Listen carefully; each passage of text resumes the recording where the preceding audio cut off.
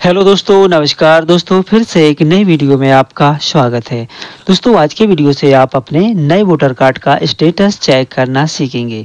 चाहे आपने अपना नया वोटर कार्ड बनवाया हो और चाहे आपने एक पुराने स्थान से नए स्थान की मतदाता सूची में नाम जुड़वाया हो और उस स्थिति में आप चेक करना चाहते हैं कि आपका वोटर कार्ड बना या नहीं तो आप दोनों स्थिति में अपने वोटर कार्ड के स्टेटस को ऑनलाइन चेक करना सीखेंगे।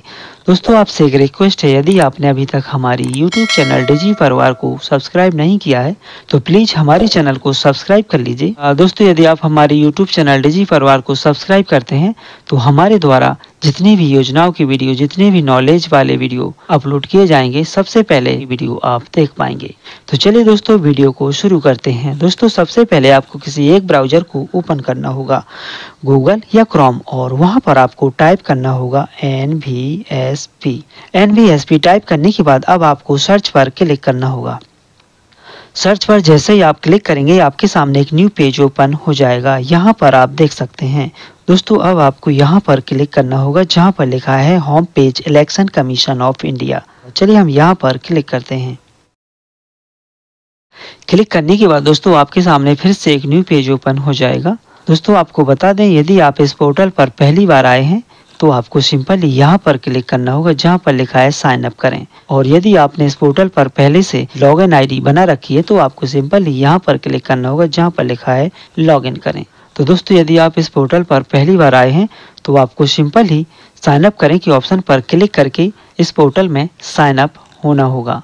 तभी आप अपने वोटर कार्ड का स्टेटस चेक कर पाएँगे। तो दोस्तों, हमने इस पोर्टल पर पहले से अपनी लॉगिन आईडी बना रखी है तो हम यहाँ पर लॉगिन के ऑप्शन पर क्लिक करेंगे। यहाँ पर लॉगिन करें के ऑप्शन पर दोस्तों, जैसे ही हमने क्लिक किया, हमारे सामने एक न्यू इंटरफेस ओपन हो गया है। दोस्तों, अब हमें यहाँ पर अपना मोबाइल नंबर इंटर करना होगा। वह मोबाइल नंबर, जिस मोबाइल नंबर के द्वारा हमने लॉगिन आईडी बना रखी थी। मोबाइल नंबर इंटर करने के बाद दोस्तों, फिर हमें यहाँ पर अपना पासवर्ड इंटर करना होगा। वह पासवर्ड जो हमने लॉगिन आईडी बनाते समय अपना पासवर्ड बनाया था, वह पासवर्ड हमें यहाँ पर इंटर करना होगा। बाद मोबाइल नंबर और पासवर्ड इंटर करने के बाद दोस्तों, फिर हमें इस टाइप का कैप्चा यहाँ पर इंटर करना होगा। सभी कुछ फिल करने के बाद दोस्तों फिर हमें यहाँ पर क्लिक करना होगा, जहाँ पर लिखा है ओटीपी का अनुरोध करें। जैसे ही हम ओटीपी के अनुरोध करें कि ऑप्शन पर क्लिक करेंगे, हमने जो भी अपना मोबाइल नंबर इंटर किया है, उस पर हमें एक ओटीपी आएगी। फिर वह ओ हमें इंटर करनी होगी। सभी कुछ फिल करने के बाद दोस्तों, अब हम लास्ट में ओटीपी का अनुरोध करें कि ऑप्शन पर क्लिक करते हैं। दोस्तों, हमारी ओटीपी आ चुकी है। तो चलिए, अब हम अपनी ओ को यहाँ पर इंटर करते हैं। ओटीपी एंटर करने के बाद दोस्तों, अब हमें यहाँ पर क्लिक करना होगा जहाँ पर लिखा है सत्यापित करें और लॉगिन करें। तो चलिए अब हम सत्यापित करें और लॉगिन करें के ऑप्शन पर क्लिक करते हैं।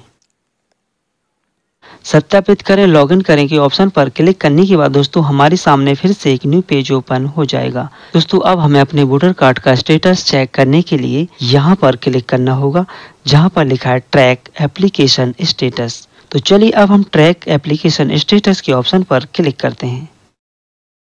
ट्रैक एप्लीकेशन स्टेटस के ऑप्शन पर क्लिक करने के बाद दोस्तों, आपके सामने फिर से एक न्यू पेज ओपन हो जाएगा। दोस्तों, यहाँ पर आपको आपकी संदर्भ संख्या एंटर करनी होगी। संदर्भ संख्या यानी कि रेफरेंस नंबर यहाँ पर आपको एंटर करना होगा। वह रेफरेंस नंबर जो वोटर कार्ड बनवाते समय BLO के द्वारा आपको दिया जाता है, जो कि 22 अंकों का होता है। फिर आपको यहाँ पर आपका राज्य यानी कि स्टेट सिलेक्ट करना होगा कि आप किस राज्य के रहने वाले हैं।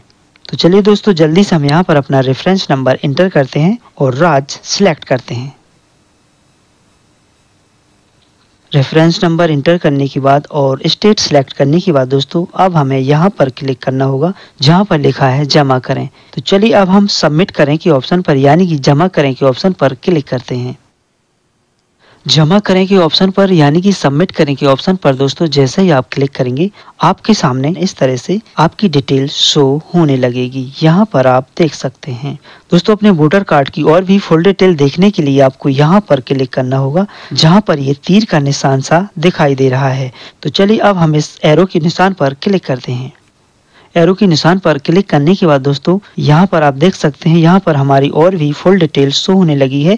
फ़र्स्ट नंबर पर यहाँ पर आप देख सकते हैं, यहाँ पर लिखा है फ़ील्ड वेरीफाइड और इसके बाद दोस्तों, यहाँ पर आप देख सकते हैं, यहाँ पर लिखा है एक्सेप्टेड तो यहाँ पर आप वह भी डेट देख सकते हैं, जिस भी डेट में हमारा फॉर्म एक्सेप्टेड हुआ था, यानी कि हमारे फॉर्म को एक्सेप्टेड कर लिया गया था। और तीसरे नंबर पर यहाँ पर आप देख सकते हैं, यहाँ पर लिखा एपिक जनरेटेड यानी कि हमारे वोटर कार्ड का जो एपिक नंबर होता है, वो जनरेट हो चुका है। तो दोस्तों, इस तरह से आप भी अपने वोटर कार्ड का स्टेटस चेक कर सकते हैं। दोस्तों, यदि आप अपने नए या पुराने वोटर कार्ड को डाउनलोड करना चाहते हैं तो हमारी यूट्यूब चैनल डिजी परिवार में वीडियो उपलब्ध है। उस वीडियो के द्वारा आप अपने नए या पुराने वोटर कार्ड को डाउनलोड कर सकते हैं।